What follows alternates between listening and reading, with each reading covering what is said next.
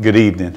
Moments with the Master, Trinity Gardens Church of Christ, here in Trinity Gardens, Texas.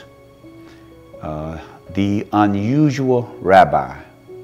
The Bible presents one man as being perfect and unique. That's Jesus Christ.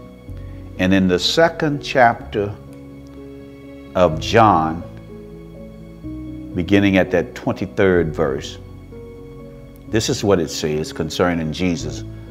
Now, when he, Jesus, was in Jerusalem at the Passover dur- during the feast, many believed in his name when they saw the signs which he did. But Jesus did not commit himself to them because he knew all men and had no need that anyone should testify of